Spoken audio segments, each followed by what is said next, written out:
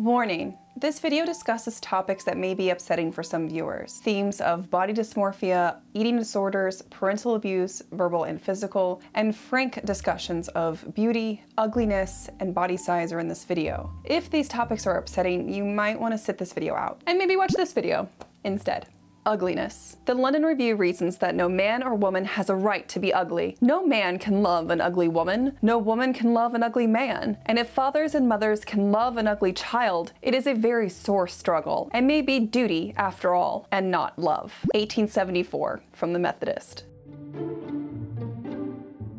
I was researching something else and I found this story called The Ugly Little Girl in the Ladies' Home Journal from 1891. The opening few lines of it just like blew my mind because they were so mean because they were just talking about this little girl who was ugly. Like that was the story. It was about this ugly little girl. And that sent me down a rabbit hole where I realized that our great grandmothers great great great grandmothers, and basically women from at least 1800, so the Regency era, up through like the 1950s, obsessed with ugly children. They were completely wrapped up in the concept of having ugly children, preventing ugly children, shaming other ch ugly children, and just completely wrapped up in this idea of having ugly children. Like, no wonder American women are so messed up, right? Like, we have had over 200 years of generational trauma of mothers and fathers telling their children that they're ugly. Not like a regular mom, I'm a cool mom. We have slowly been processing and working through that, like, as a society. And while we're nowhere near finished with that process, and we still have issues that I will be getting into, and we deal with a lot of toxic crap today, it still is a vast improvement compared to where we were a hundred years ago. Do you stink? Do you smell bad? Do you wish to be refreshed? Well, luckily for you, Native is a sponsor of this week's video. And they have many anti-stinky things. Can you hold all that for me? Thank you so, thank you so much. Um, so, let's, here, no, you're hold, not holding it right. Can you just I have loved Native for years now. I've worked with them for years. They're a fantastic company. And they currently have their best sellers bundle, which is great because it's just a little bit of all their really, really good stuff. First in the bundle, you have, of course, their classic deodorant, which gives you 72 hours of odor protection. Comes in a ton of different scents, including one of the newest scents, which is blackberry and green tea. Ooh, that was really nice. Yeah and it goes on nice and smooth. It's not sticky. It gives you a nice, clean, smooth, dry feeling texture, and it does a fantastic job making sure that you don't smell like stinky, stinky. And then in addition, my personal, like all-time ultimate favorite native product, which is their body wash is also included in the best sellers bundle. I love this stuff. It's dye-free, it's phthalate-free. It also has citric acid for pH balance, does a fantastic job in cleaning and making you feel clean. And then they have their latest product, which is their spray deodorant slash body spray. It is actually an ozone friendly spray, but it is also paraben free and aluminum free. So it just helps you smell nice. So that way, if someone is around who's a little poo poo stinky caca, you can just go pop,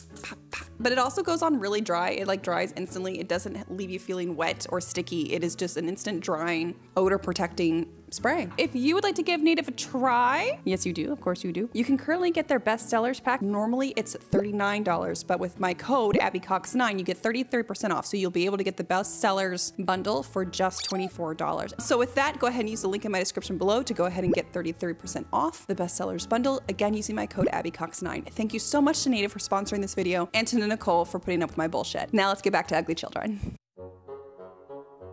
The origin of pretty privilege. The culture of beauty is everywhere a legitimate art, but the beauty and adornment of the human form, the culture of personal beauty, and in our age, especially of female beauty, is of the first interest and importance. It is impossible to separate people from their looks. The Art of Beauty, 1878. Okay, so what is pretty privilege? It's a modern term that was coined, and it's meant to describe, quote, the idea that people who are conventionally attractive based on current beauty standards have more advantages and opportunities compared to those deemed less attractive. It is also when people associate beauty with talent, intelligence, social success, and health. And let me tell you guys, Victorians loved pretty privilege. You're like really pretty. So while the term is new, the general concept is not. In the 18th century, it was deemed that one's outward appearance was a reflection of their interior self. And that's why having a neat and tidy appearance, having good hygiene, cleanliness, being fashionable but not too fashionable was really important to 18th century society. So obviously, if you gave the appearance of being neat and tidy and well put together and not too fashionable, so not too vain, then that also meant that you were a good person who was then deemed worthy of love, happiness, and, and respect. By the Victorian and Edwardian eras, though, this general concept changed ever so slightly. Well, yes, we did have an interest in the deeply problematic and generally just horrifically inaccurate pseudoscience of physiognomy, which, if you don't know, is the concept that one's physical characteristics, the shape of your eyes, the, your nose, your mouth, like all of it, denote personality traits as well, was generally just abused and used as a tool of systemic racism, genocide, eugenics, all of it. It was a horrific thing.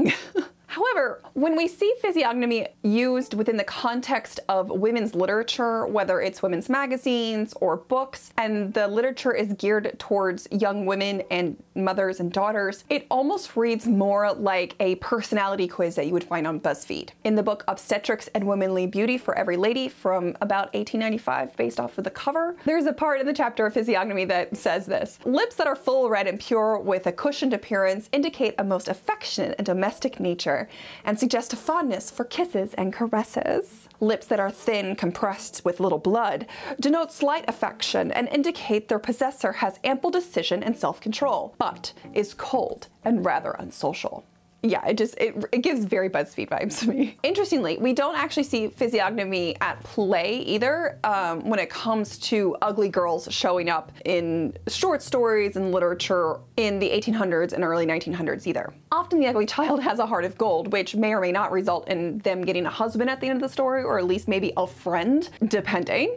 Her behavior is no doubt a trauma response from her mother saying things to her like, How ugly that little one is. Is she not, William?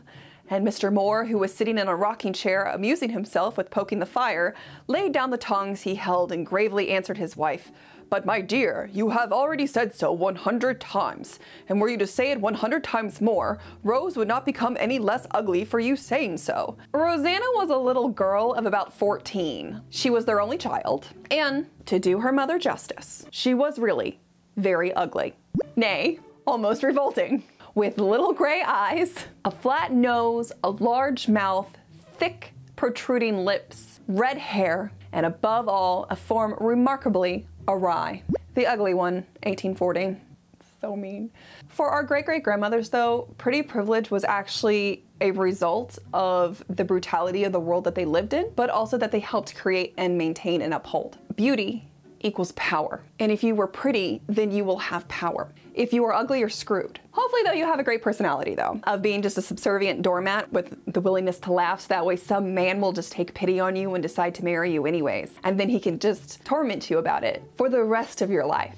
Why, returned the husband, I shall certainly go to paradise. It was my lot to have such a woman as you for my wife. I have borne it patiently. You will also go to paradise, because I was given you, and you are thankful. Now God himself has said by Muhammad that the patient and thankful are to be blessed in paradise. From The Handsome Man and the Ugly Wife, 1810, Ladies Weekly Miscellany. If a man ever said that to me, oh my God. From the first line of the book, entitled Talks with Homely Girls on Health and Beauty from 1885, yes, that is the title of the book, the line is Beauty, which is one of the greatest powers of the world. And when we're talking about a world in which women's rights, independence, and bodily autonomy are routinely denied and systematically oppressed, it helps explain why that phrase was so important and also why Victorian women and men were so obsessed with the concept of beauty and of being beautiful and of being pretty and of fearing ugliness. And why it also would have such a lasting impact on our culture even today. So, by being beautiful and actively utilizing the pretty privilege that existed in the Victorian era, it was one of the few ways that women were able to not only find financial and social security in obtaining a good marriage, but also to be able to climb the social ladder and move up in social hierarchy that ugly women would not have had access to. By being able to secure a good marriage based off of your looks, then you would have been able to have also secured financial security and social security as well, and comfort even maybe possibly a certain degree of independence if you think about it. The other thing to keep in mind here is that in the 19th century is when we actually see the rise of women staying home and not working in the middle class, and that becoming the ideal family dynamic. Because in previous centuries, that level of status of women not having to work and make money to help with the family like income, that was only reserved for the highest of social classes, the gentry, the aristocracy, the nobility. It was not a part of the middle class unless you were extremely wealthy within the middle class. So I'm talking top, top tier echelon. But for most middle class families before the 1800s, women often either held their own jobs, worked alongside their husbands in their business, in their trade shops, running the trade, forming the trade work, or were even business owners in their own right. I know this might come as a shock to you, but honestly, in the 18th century, the middle class dynamics were more similar to ours today in a lot of ways, because let's be honest, this middle class that we're talking about of the 19th century up to the 1950s and 60s, that doesn't apply to us today. We can't do that anymore. It's impossible. With all that being said, and us understanding that pretty privilege in the Victorian era was just one of the few ways that women could survive in this era. That doesn't mean that the publications around prettiness and beauty and ugliness are not completely and totally unhinged, because they were absolutely bonkers. From 1870 to 1874, Harper's Bazaar ran a column entitled The Ugly Girl Papers, which was just a slew of beauty, health, and like etiquette social tips. And the topics changed every publication. It was so popular, though, that by the end of the column's run in 1874, they combined all of the columns from over that four to five year period and published them entirely in a book with titles like Hope for Homely People and Bread Paste and Court Plaster con to Conceal Your Wrinkles. And yes, I am very interested in exploring what that means. So we might we might be visiting the Ugly Girl papers again because whew, it was chock full of stuff, let me tell you. Now, while the Ugly Girl Papers was intended for young women reading the magazine and obviously young women with insecurities and preying on those insecurities, in the book Talks with Homely Girls on Health and Beauty, there was from 1885, there's actually a lot of sections that are geared towards mothers and how mothers can help ensure their daughter's beauty and to prevent their daughters from becoming ugly because genetics doesn't play into this. For example, they had advice like the mother may cut carefully the eyelashes of sleeping infants using scissors with two blunted points because we're not total animals here. And she will thus ensure long curled eyelashes by and by because babies don't actually need those eyelashes to protect, you know, their delicate little baby eyes. More important that they grow long and pretty. It continues. Every morning, the wee nose should be carefully stroked between the finger and thumb to make it a good shape because babies' faces are apparently Play-Doh. And as the little girl grows older, her eyebrows may have a little coconut oil applied if they appear to be growing too thin and pale. Now, like, look, I'm not gonna knock the whole like coconut oil on the eyebrow thing because we like coconut oil, it's like that's fine. But the nose, the nose thing and the eyelash thing, like bananas, bonkers out of the, out of their minds. Just, but like that's not even like the worst thing that I've read. Like in a 1936 issue of Harper's Bazaar, and one of their tips is to literally hang the child by their neck so that way they can grow taller. Just strap that baby up by their neck. It's fine. Spinal damage, be damned. Guys, it's whew. So what happens if all of this preventative work fails and you are, God forbid, cursed with an ugly child. Oh, oh no. Well, you would think that this would be the moment where ultimately good virtues and good personality characteristics really came out to shine for the Victorian era. And they and they would have mother's moral of the story of like, it doesn't matter what you look like. Your appearance doesn't matter. It's what's inside that counts. It's putting people above yourself. I don't know, just stuff like that. And being like, it's not what you look like that matters. It's what's on the inside that counts. No, that is not how that worked. Because they'd be like, well, at least you do have a good personality because you're still busted. What else you have going for you? You're not pretty, so you better have a good personality to make up for it. You better be a nice person to make up for it, because if you're rude and ugly, there's the gutter. Just go lay in it. That's, that, that's all you got. Like, being nice is not gonna cure you of being ugly. It'll just make people tolerate you a little bit more. She had too her mother's sweet, friendly manners, so that as she grew older, people began to say that the ugly Miss Bashford was really a charming girl after all. So it was whispered, the little Bashford girl was a lot of fun, even if she was ugly. I guess that's okay. From The Ugly Little Girl, which is the 1891 story from Ladies' Home Journal that kind of started me down this rabbit hole, the story actually ends with Letty rescuing a little boy from drowning and her herself almost drowning in the process. And in the end, because of this huge act of heroism towards a little boy who also, by the way, was actively making fun of her for being ugly, the gentleman petted her most and actually spoke in admiration of her shapely head, her soft flaxen hair, and the promise of graceful symmetry in her slender figure. Because that's not creepy that this little girl, who was, I believe, somewhere around 10 years old in this story, the reward that she got for rescuing this little boy and putting her life on the line and almost dying, while consistently being told by everyone, including her parents, that she was ugly, that she's now being praised by grown ass men for her looks and appearance. That summarizes it, doesn't it? That just kind of puts it all in a nice little package of, of weird and creepy and trauma. So when reading these articles, it becomes apparent that the little girl's appearance and her value in her attractiveness and her prettiness is not just a reflection of the daughter herself, but also the success of the mother in being a mother. Next to being beautiful herself, almost the nicest thing that can happen to a woman is to have a beautiful daughter. All the bother of mothering a girl child up to her teens is repaid when you begin to hear people whispering about her, isn't she lovely? Isn't she lovely? Isn't she wonderful?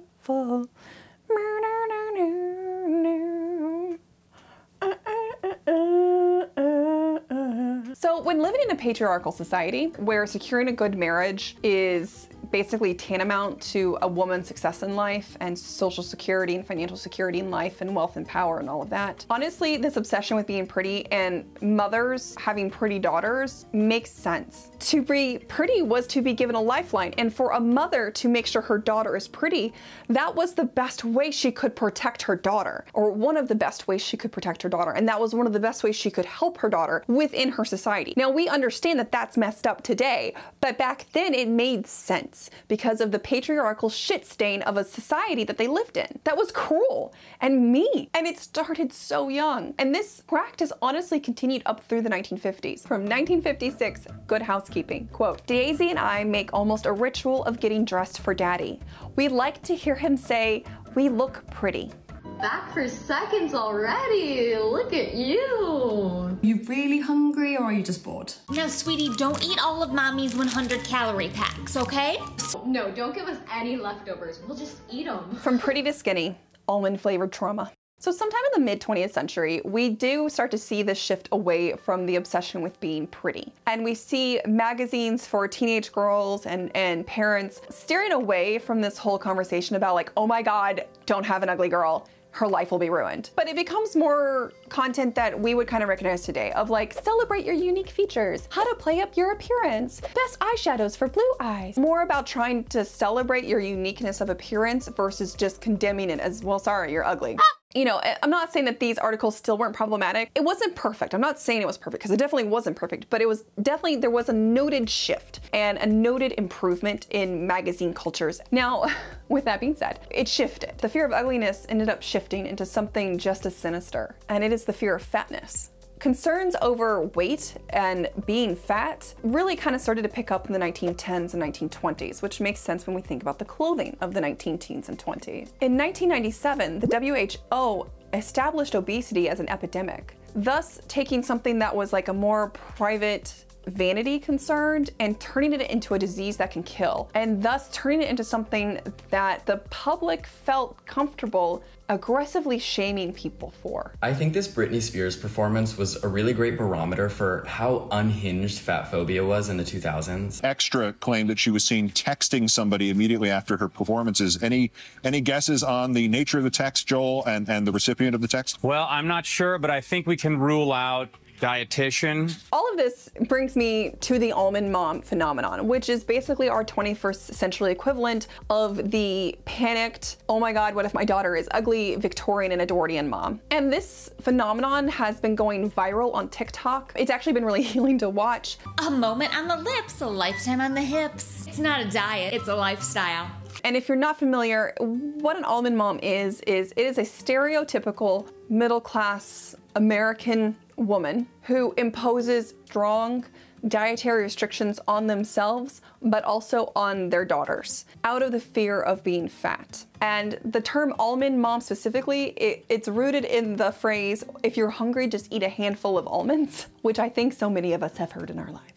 Think this is affecting me mentally. Like long term shit, it's gonna fuck with me. I think that this is gonna fuck me up. Okay, so while the almond mom stereotype began as just more general, just fat phobic, vain, like pursuit of skinniness concepts in the 90s and 2000s with bangers such as nothing tastes as good as skinny feels, we have actually now seen it evolve into something health conscious because basically society pushed back as a whole going, you can't fat shame people like that, like it's not right. So now these almond moms are more about health and being healthy. They only eat healthy foods and fuel their bodies. God forbid they eat something with red dye 40 in it or a french fry. They'll smell the chocolate bar, but they won't eat it. I'm so glad you're an adventurous eater. Move your body, but for fun, not to avoid getting fat. That's not what we're implying at all. My kids just love vegetables. I think it's because I fed them adventurously early. And I'm really glad about that because it means they probably won't get fat. Love you. And the thing is, too, this kind of health idea and this pursuit of health, it ties into this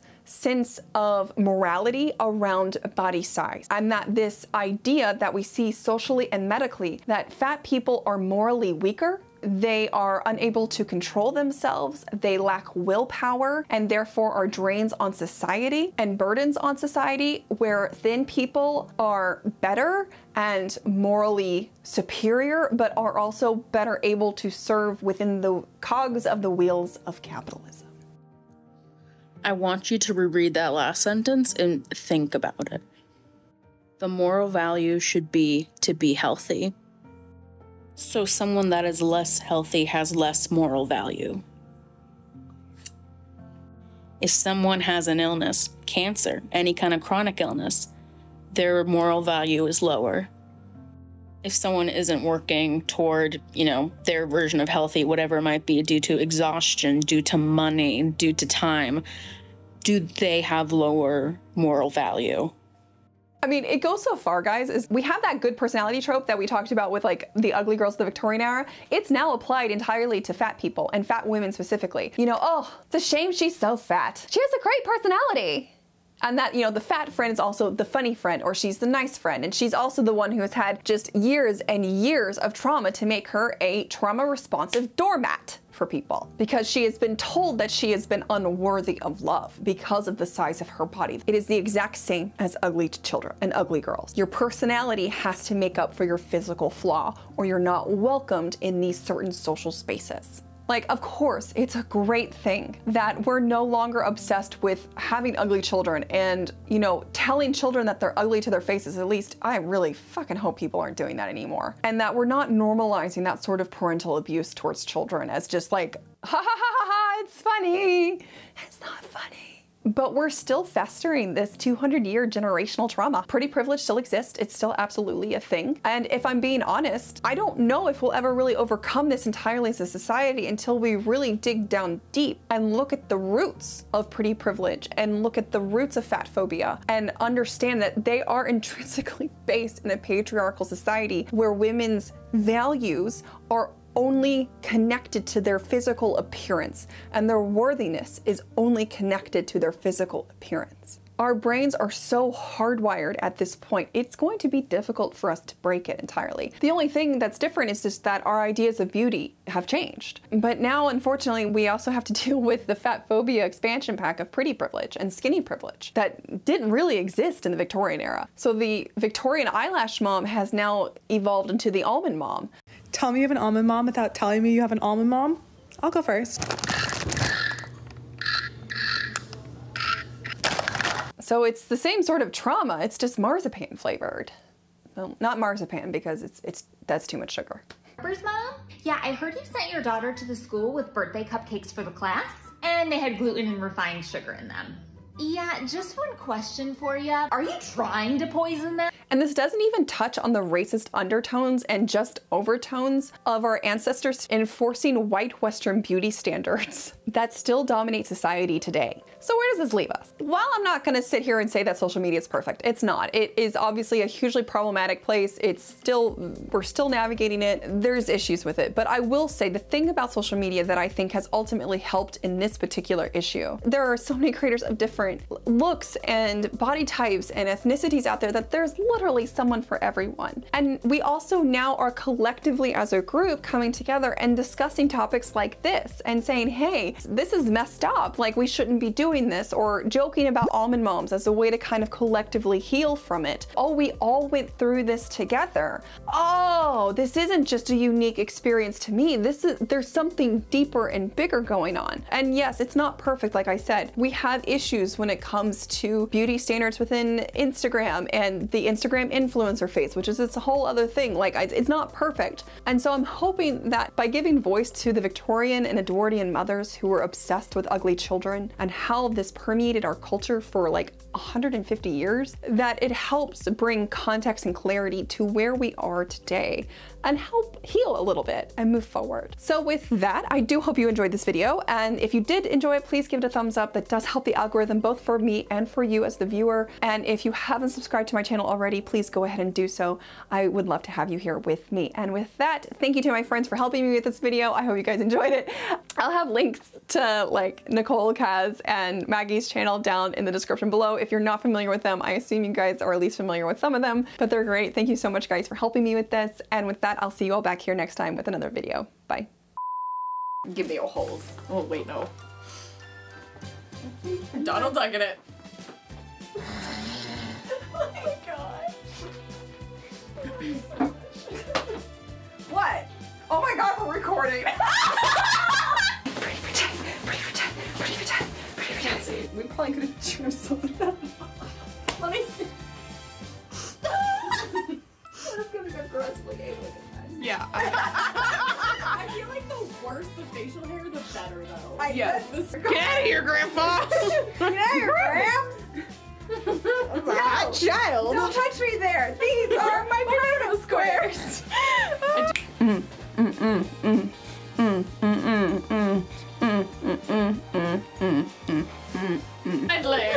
You're not allowed to go out of doors unless you have a sack. Yes. For your head. And then, yeah, just grab her by the arm, sit her on your lap. Sit more in the corner. There we go. And then, yeah. All right. Do it like that. Yeah. And then. That's luscious. Try not to get the red blood tears on the sofa. Yeah, no. This is going to make you laugh. I know. I'm gonna like stare off into the abyss. Mm-hmm.